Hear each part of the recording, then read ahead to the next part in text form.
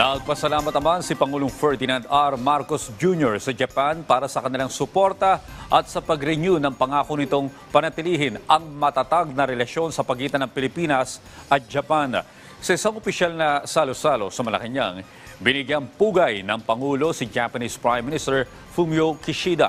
Ayon sa Pangulo, hangad niya ang malusog na pangangatawan ni Madam Yuko Kishida, ang kaunlaran para sa Japan at ang di mapapatid na relasyon ng dalawang bansa.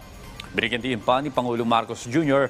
ang mga prinsipyo ng demokrasya, paggalang sa karapatang pantao at ang rule of law na nagpaunlad sa relasyon diplomatiko ng Pilipinas at Japan sa nakalipas na 67 taon.